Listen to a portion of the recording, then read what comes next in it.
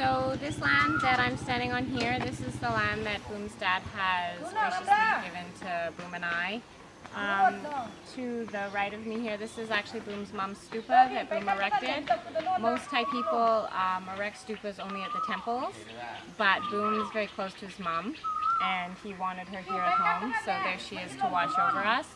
Um, all these plants and everything, this is Boom's dad's garden currently. We're just going to dig this all up, start a garden in the back.